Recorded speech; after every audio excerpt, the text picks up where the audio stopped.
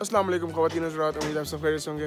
Welcome to सवाद day five आज मैं आया हूँ जी वाइट पैलेस तो इसका सीन ये है कि वहाँ से आपको मिलती है एंट्री टिकट और फिफ्टी रुपीज़ की, साथ उसमें आपको कोल्ड ड्रिंक और जूस फ्री है। एक बात होगी, उसके पीछे पार्किंग है, बात नंबर दो। और इधर आगे फिर आप चलते जाते हैं तो ये पीछे मेरा वाइट पैलेस है पूरा। इसमें ये सेब के दरख्त हैं, उधर से पानी फल वगैरह लगा हुआ है। तो आए ज़रा आपको अंदर से दिखाते हैं।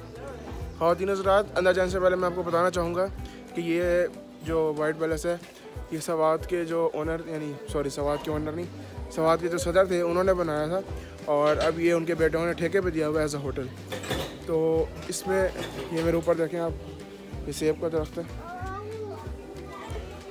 और जो है अब अंदर से दिखाता हूँ।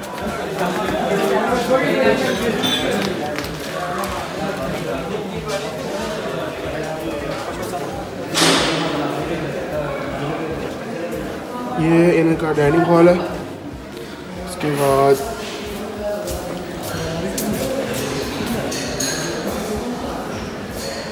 यहाँ से आप टिकट दे के जूस ले सकते हैं।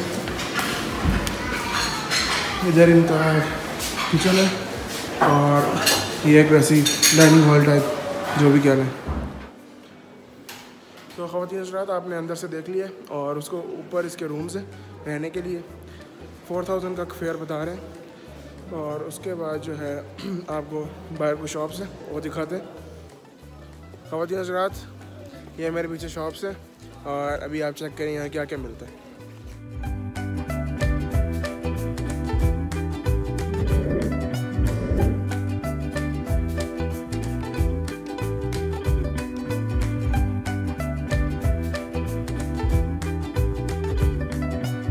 खातिन हजरात यहाँ पर एक ये छोटा सा चश्मा भी बना हुआ है। साथ इसका ये कोई दरख्त है, पता नहीं किस चीज़ का। और आप ये चेक करें ज़रा, फूल का कलर चेक करें। सुबहान वो कितना रेड बस अभी ज़रा मैं ऊपर जा रहा हूँ, फिर मिलता हूँ आपको। खातिन हजरात, मैं ऊपर पहुँच चुका हूँ। पसीना आ गया ये चश्मे का पानी आ रहा है और वहाँ पीछे रूम से रहने वाले। और नशइयों के लिए प्लस पॉइंट है। यहाँ पर भंग, जिसे हम वीड भी कहते हैं, बहुत ज़्यादा है। जगह जगह लगी हुई है।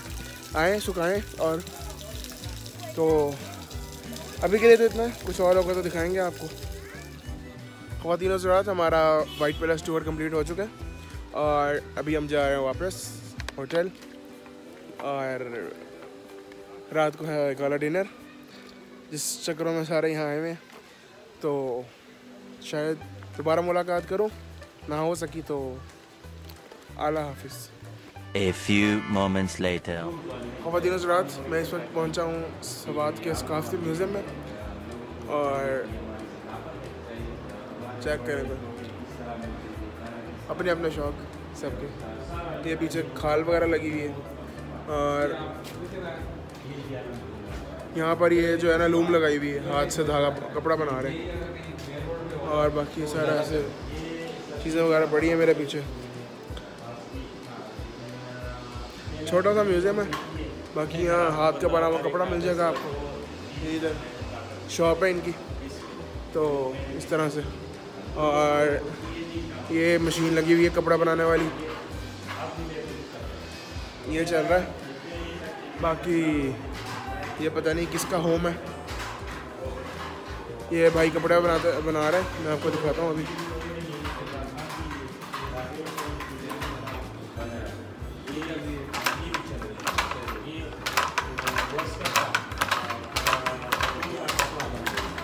मिलता है मैं दर्द तक आपको। हजरात, मैं अभी भी होटल पहुँचा हूँ। कुछ चाय का सामान और अभी जाना काला डिनर पे। तो आज का ब्लॉग एंड करते हैं फिर। मिलेंगे अगले ब्लॉग में। अल्लाह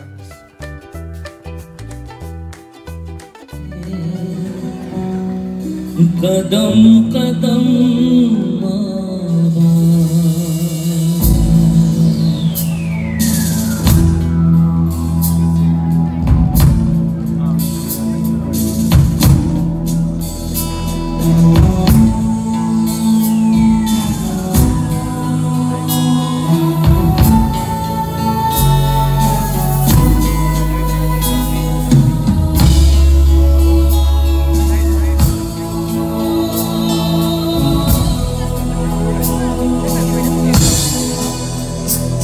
मेरे साथ गा सकते हैं आप? सोनी कदम कदम माबा कदम कदम माबा तुझे कदम चन्ना चन्ना चन्ना चन्ना।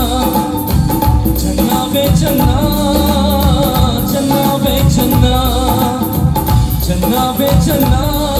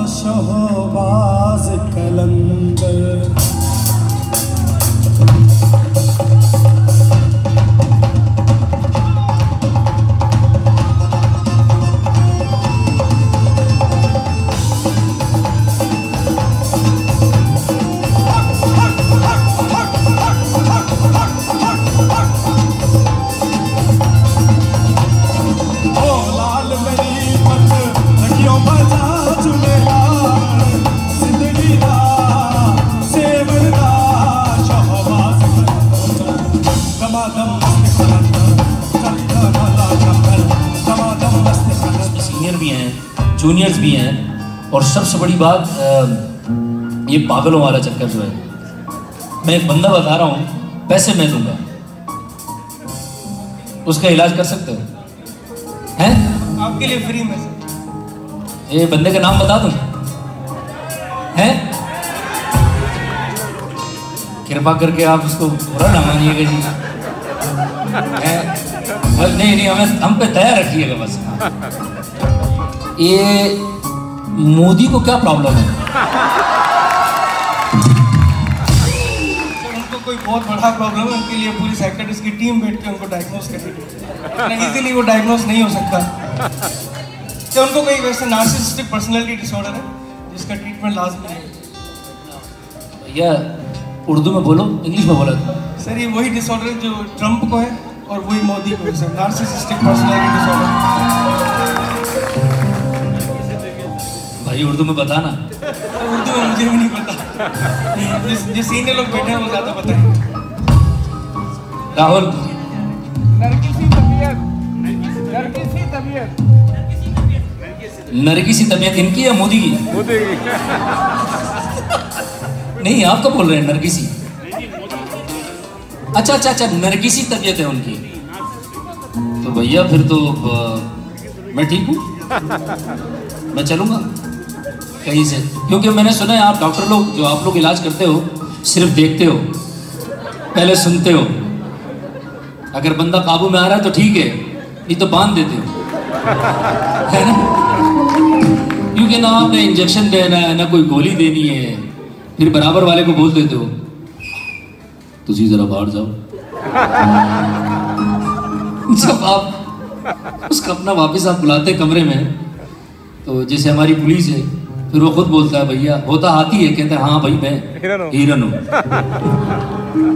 अल्लाह करे कि मोदी को अकल आ जाए। वो आपके नाम से ऐसा लगा कि क्योंकि हम तो सारे भैया हम फनकार क्या इस मुल्क का आम शहरी क्या बड़ा क्या हम सब ये चाहते हैं कि भैया दोस्ती से हल हो लेकिन मेरी तो लिमिट क्रॉस होगी पता नहीं क्यों हमारे बड़ों की नहीं हो रही लिमिट क्रॉस। पता नहीं कब हम हल्ला बोलेंगे लेकिन बहरहाल बोलेंगे तो फिर बिगड़ जाएगा। आपकी फरमाइश थी कि आपने इन्होंने कहा कि तू खुद बोल चल। जी सर क्या मैं इनको कैसे गाते हैं? बहुत अच्छा गाते हैं। अच्छा जी। मैंने सुना है आप बहुत अच्छा गाते हैं। और आप आप राहुल गाएँगे तो सबको अच्छा लगेगा। जो आपका दिल करे जो। ये।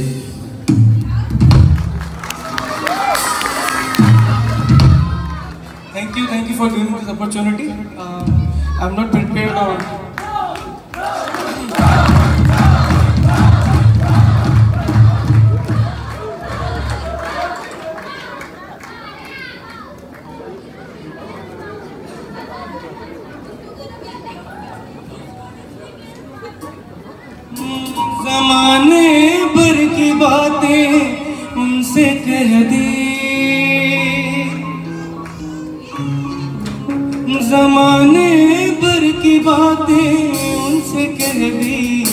जो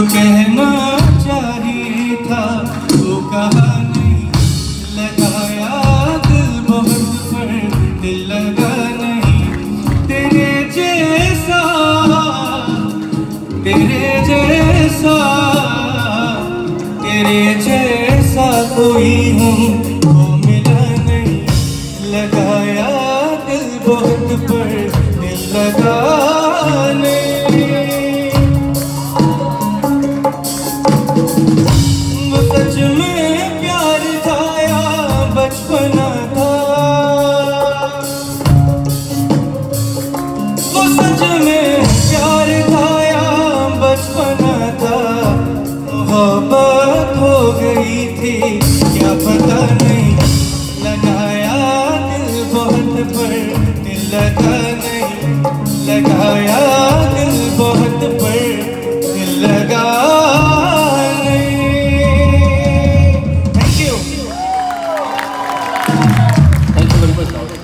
कुछ बुरा लगा तो माफ़ कीजिएगा दोस्तों।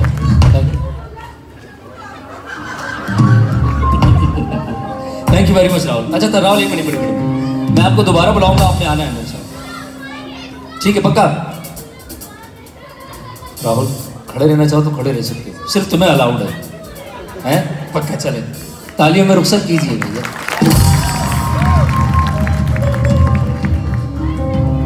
हम्म,